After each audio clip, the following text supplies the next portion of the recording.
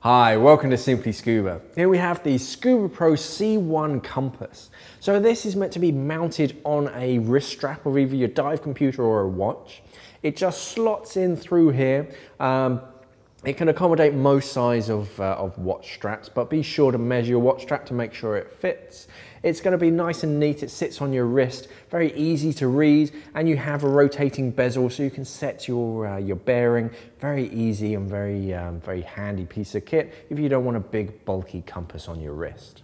So if you want a compact little compass, take a look at the Scubapro C1 wrist compass. If you missed our latest episode of Weird Wednesday, you can click on this link up at the top to watch that. Thanks for watching. Safe diving.